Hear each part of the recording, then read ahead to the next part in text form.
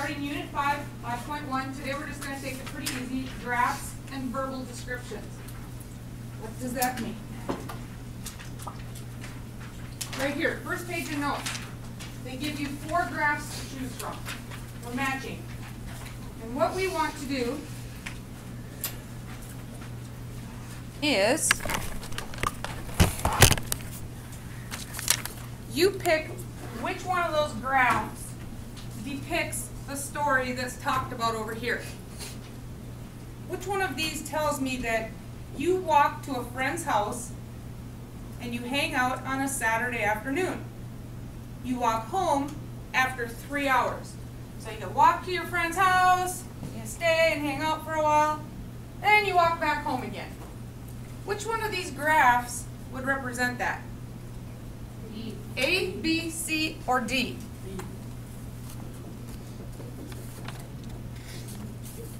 Who says A?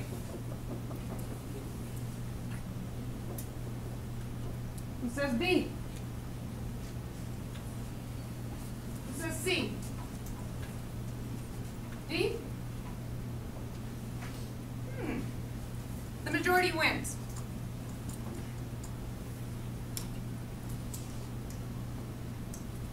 It is B. As we started, you walk to a friend's house. So we start down here. We walked to a friend's house, then we stayed for a while, and then we walked home again. Now, how long did it take us to walk to our friend's house? This is on the x-axis tells us time in what? Hours. So how long did it take us to walk to our friend's house? One hour. How far away was it? Four. This is the distance from home in miles. So in one hour, you walked four miles. Then you stayed at your friend's house for how long? You stayed here for three hours. Then how long did it take you to walk back home again? Another hour. It's a fast walker. If you walk four miles in an hour, it's pretty fast walking. You can do it. All right, now we're done with that one. How about which one depicts number two? You walk to a movie theater and watch a movie. After the movie, you walk to a friend's house, which is halfway back to your house. Which is half of the way to your house. Okay? Who thinks it's A? C? D? You are correct. It is D. How about three? You go for a jog. After, while you, and after a while, you meet a friend. The two of you spend some time talking. After you, you talk, you decide that you're going to walk. You're going to walk home again, okay? So first you were jogging, then you talked, then you walked home. Which one of those describes that story? We have A and we have C left. Who says A? Oh, okay, I won't even ask who says C then. It is A. Now does this one match? You walk to a restaurant to meet a friend for lunch. Okay? Uh, you realize that you stay too long at the restaurant, so you have to run back home. Is that what's left? But how many think that this should be Yeah, I was just thinking that. Yeah. This one, we decided if you're going to run back home, because you started at home, we decided it should be like that. Right? So that one was a little bit off. That was our, that was our final guess on that one. So now let's label our own graph and draw our own line on the graph. So when you do these, it says, you are giving your dog a bath in your family bathtub. It takes three minutes to fill the tub to a depth of nine inches. As soon as you get the dog into the tub, you hear your family return home. In order to avoid getting in trouble, I'm sure none of you get in trouble, right? For giving your dog a bath in the family bathtub, your dog gets a very quick bath that only lasts two minutes. You quickly unplug the drain and it takes five minutes for all the water to disappear down the drain. What do we need to do first? Label. Label, all right? Here we have our x-axis, here we have our y-axis. What do you want the x-axis to be? Inches.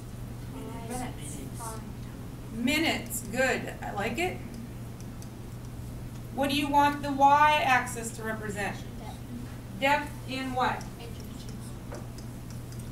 Depth in inches, I agree. Now, what intervals, what did we start here? Are at the origin, we always start at zero, zero. What intervals do you wanna go for for minutes? One by ones, twos, fours, what? Twos. Cause we only go, what, five minutes, two minutes, three minutes? Let's just go by ones? Okay, label those. How about depth in inches for the water? Ones. Ones again, I agree.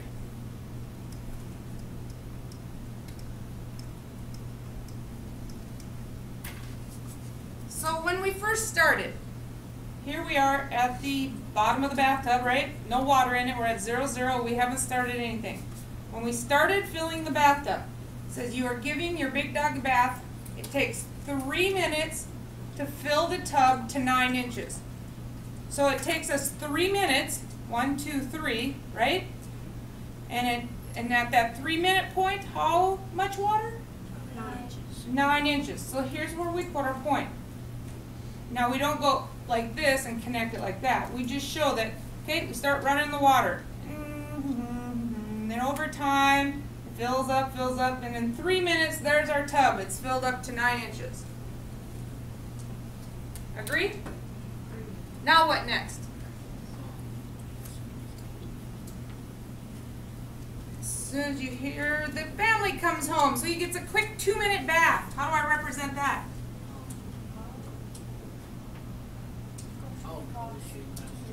Yep. We go over two more minutes because we didn't add any more water, we didn't take any out, we just stay at a standstill there for two minutes. The dog gets a bath. Now what? We pull the plug and it takes how long to drain it back to zero? Five minutes. So from here we have to go over five minutes. One, two, three, four, five minutes, right? Did I put my dot here? No. Nope, it drained all the way down to zero again, so you're gonna have to go from here to here. Now that graph represents the dog's bath.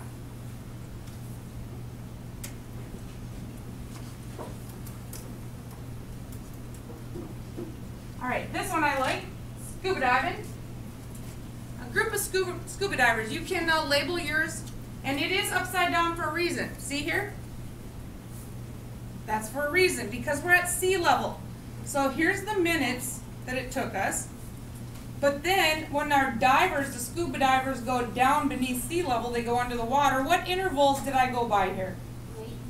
I went by the intervals of two. Why do I have negatives? Because it's going down. Because it's going down. We're going below sea level. Just like the weather outside is getting cold, we're starting to go below zero, unfortunately. All right, so now we're going to go, we're negative two feet below sea level if we're here. First of all, where do we start now? We're not going to start down here at the origin. We're going to start up here. We're in the boat. We're at zero, zero. We have not done any, scuba diving yet.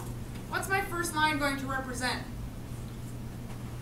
group of scuba, scuba divers leaves the surface of the water and dives down 10 feet in one minute. So where do I have to go from here?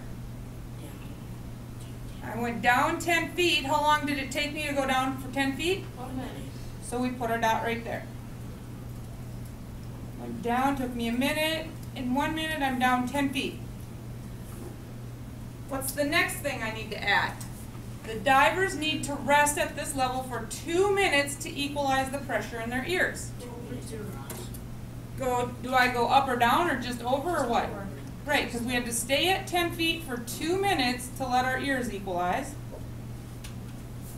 Then, after resting, the group continues to descend 10 feet to the bottom of the lake in the next minute. So, where do I need to go from here? Down to the bottom of the lake another 10 feet. So, we're down at 20 now. How long did it take me to get to the bottom? A minute. A minute, so I need to go over one more. Oh. There we go. Now that we're at the bottom, we're going to dig for a buried treasure. And it takes us three minutes to find the treasure. So am I done? No. What do I need to do? Three minutes across. One, two, three. There. That represents my dive trip. Now what if we went up the same way? What if I ascended instead of descended? What if I ascended the exact same way? What would I have to do? You have to go up to ten. Yep, up, up to ten. Oops, not that way though. I'd have to go, I'm gonna, have a minute to go up to ten again. So it'd be there. And you do. go Over two, good. And then over one up to, to did I go the right way? Yeah. And right here? That's what it would look like if we ascended back up using the same intervals. No, but that takes us to this one. The homework is a lot easier than this one is. There's two of them that you have to talk about in your homework. Here it says, we need to write the story. Write a story that represents each graph. And like I, like I said earlier, this one's a lot longer than, than the ones in your homework today, on page three. The divers have, have the buried treasure and they are about to begin their ascent to the surface of the water. Okay, so tell me in words just like they were telling us in words earlier. Let's us reverse it now and write the words. Here we are at the bottom of the lake. Tell me what I need to do. Swim up for The divers do what? Swim up for two minutes. Swim, Swim up for. for swim six- up. Six minutes. How far do they swim up? Four and a half. Yeah. No, wait, it's fifteen. Four and a half minutes. No, it's only, this is minutes, remember, this is minutes here. So five minutes. How far did we go to this point to this point? One, two minutes, isn't it? Oh, yeah, they go, It's only two minutes. How far did they go in two minutes? They went, they went up five, four. well, each one is how many?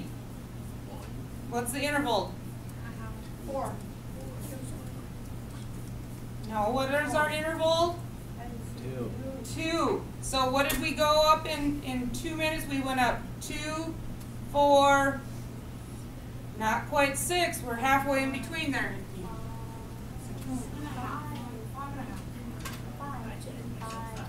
Five and a half. Five. We go up five feet. How many? Oh, did you say five? I didn't hear you. I'm sorry. What is it? Five. Five. Um, I don't know, I'm- I've done this so many times today, I'm starting to see things. The diver swims up five feet in what? Two minutes. Two minutes. Then they what?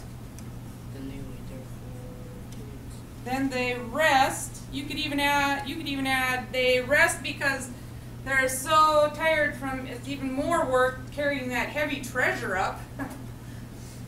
you wanted to get detailed, I know I have writers out there. So they rest for two minutes.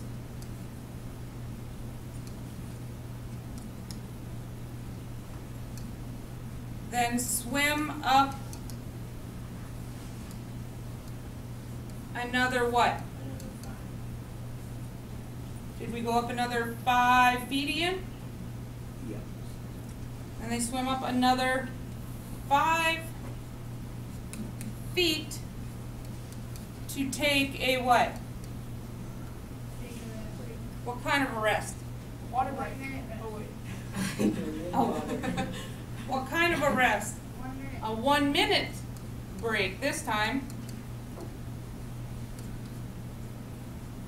Why did they do this one at five feet Now, then they swam another five feet up in a minute. Then they continued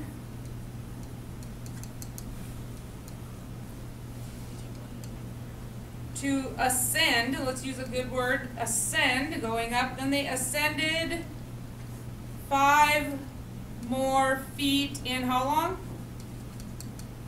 How long did it take them to go this five feet? One minute. Or, no, I'm, Yeah. In, no. From here to here, they went How many minutes? Oh, two. Two minutes. Then our final sentence could be, after resting, how long? One minute. Good. After resting one minute, they finished their five foot ascent to the top in another minute.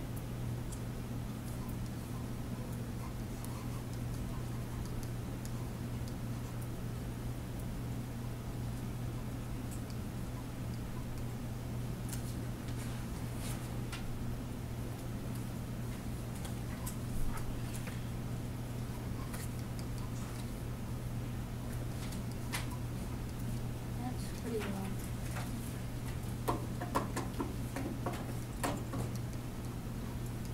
There we go. Wait, what's Like I said, that? this is a lot longer than any of the ones in your homework. Wait, what's that big word in the bottom? Their final ascent. Okay? So your homework is pages one, two, and three due tomorrow. One. Alright, so that's all that we're gonna do in the notes for today. We're not gonna do the other ones in the notes. That's it for time wise. So one, two, and three in your packet.